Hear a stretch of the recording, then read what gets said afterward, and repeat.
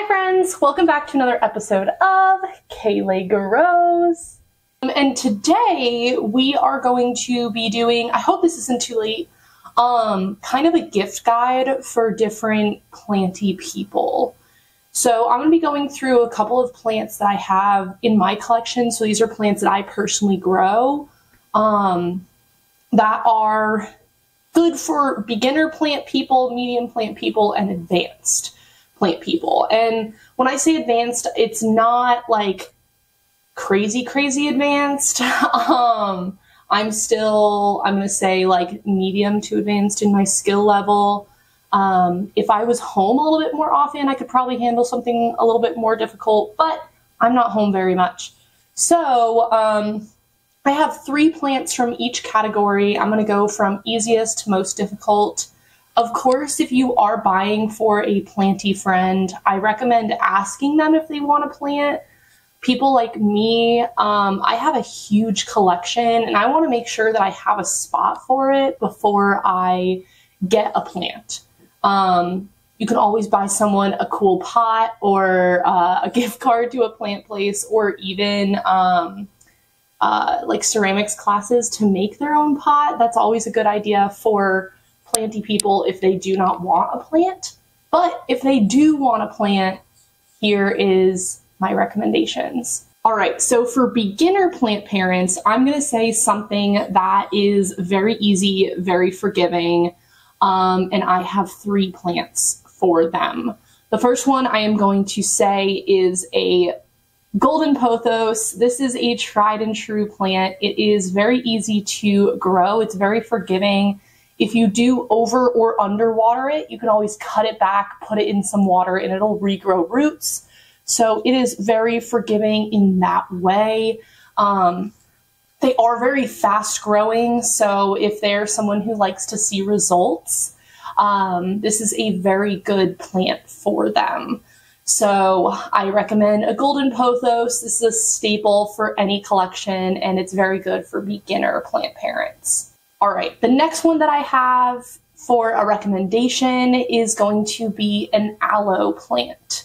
So aloe plants are succulent. They do not need to be watered quite as often. It's about uh, every other week or so, so it's kind of whenever they remember.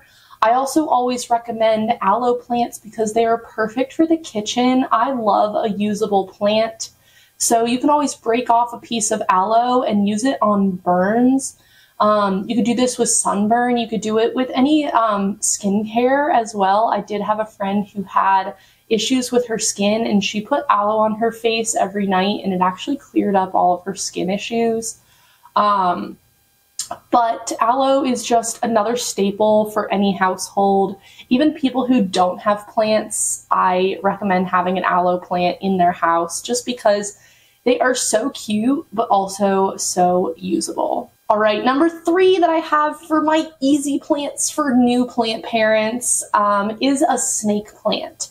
And this is going to be one that if you want, you can buy it small, you can buy it large, however much you want to spend. Um, you can put them in high light or low light, and they are going to survive. They, of course, do better in higher light situations, but if they do put them in a darker corner, not like no sunlight, not like a bathroom with no windows, um, but a corner that doesn't quite get as much light, it will still survive.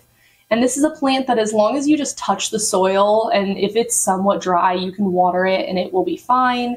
Um, if it's still wet, you can just wait and water it another time. Um, I water my snake plant every three or four weeks, and it is absolutely fine. This one has actually been passed down from my mother.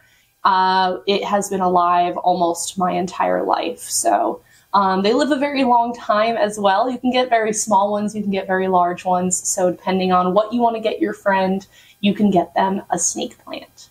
All right, and then for your medium difficulty plants, um, these three are a little bit different. Um, I am going to, number one, recommend a Crimson Queen Hoya. So Hoyas I consider a medium care level plant. And this is because they don't need a ton of watering, but they do like consistency if you want them to grow and bloom. Ooh, sorry, I have the hiccups. Um, if you want them to grow and bloom, they do need a little bit of consistency. Um, but the Crimson Queen Hoya, I have had the most success fit with. Mine has grown a ton, and I love the little variegation that is on it. It has this white um, uh, rim around their leaves, and they are just absolutely beautiful. Again, you can get them in a small pot or a large one, depending on what you want to get for your friend. Um, but I love my Crimson Queen Hoya. The next one that I am going to say is a Rhaphidophora tetrasperma. This one I'm going to say is a medium care level plant as well, just because, again, they like a good steady amount of water. Um, it's another one that as long, if you touch the soil and it is dry, go ahead and water it. Um, but it will be thirsty a little bit more than that snake plant. Um, they do grow very fast. So if you want, if, if you're a friend um, like something that they can watch grow. They do grow very, very quickly. They do root very well in water if they do want to cut it up and make a bigger plant. Um, I have mine like kind of hanging. I have like a string hanging mine up so it grows upright instead of down. Um, they do like to climb, um, and they're just really funky with those fenestrations going on. Um, but this is another good one. And this one you can find in most plant stores now. The last one that I am going to say is my Philodendron micans. So this has a really beautiful dark leaf depending on how much sun you are giving it. I grow mine in relatively high light, so it's not a super dark plant. Um, I love trailing plants as well, so this one has a beautiful cascade effect. You can grow them upright, but I like to grow mine uh, hanging and this is another one that grows relatively quickly, another one that they like consistent watering. Um, so I'm going to say that it's again medium. You do need to watch it because if you do underwater it, does like to drop leaves. That's why mine is a little bit bald on the bottom. I have been very bad about watering my plants lately. Life has just been a little bit crazy. But I love my philodendron micans, and I think your plant friend would love it as well. All right, and then the three plants that I have for more experienced plant parents, I'm not going to say completely expert, um, but they are higher level. Um, so I recommend number one an Alocasia Polly. So Alocasia Polly is a very easy to find alocasia. Um, most alocasias I'm going to consider in this uh, higher level range. Um, but Pollys are very easy to find. They are an easier version of other alocasias. Um, so you're not just gifting someone that, uh, a plant that needs like a ton of work. Um, they do like relatively high humidity. I have mine growing in lower humidity. It just doesn't grow very fast. Um, so I do have to water it a lot. It's beautiful. It's very stereotypical looking for a alocasia, so I'm sure your friend will love it. Um, and alocasia Pollys also are usually not too expensive. The next one that I have is a string of turtles. String of turtles are a type of peperomia, and this is a plant that needs very consistent care. Um, Mine loves a ton of water, so I need to water her about once a week to keep it very moist and happy. Um, this is a plant that needs to kind of figure out where it is in the house and adjust to it. So it does kind of die back and come back um, once it's used to where it is. Um, but I love my string of turtles. I love the cascade effect. It looks very different than other plants that I have in my home.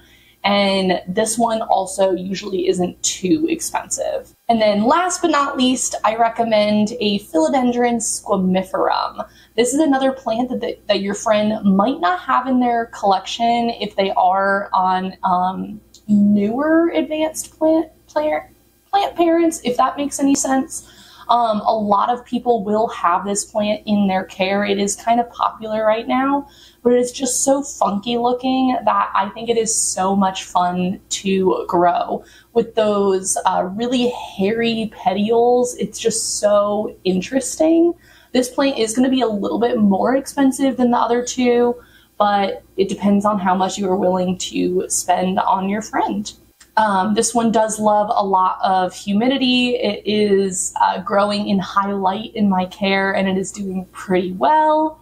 Um, and it is a fast grower. So I love this plant. I can't wait to give a cutting to one of my friends once mine gets a little bit bigger. Um, but it is a really interesting plant. All right, that is all that I have for you guys today. I hope that you are enjoying your holidays, whatever you might celebrate. And I hope that I helped out in uh, helping you find a plant for one of your friends. I tried to go with stuff that is a little bit different than you might have he- heard. Um, beginner plants are, you're going to hear those time and time again. Um, Alright, this is editing Telly. It looks like my microphone died right at the very end of this video. But I want to thank you guys so much for hanging out with me for a little while. If you like this video, hit the like button. If you like me, hit subscribe. I would love to see you again. Bye.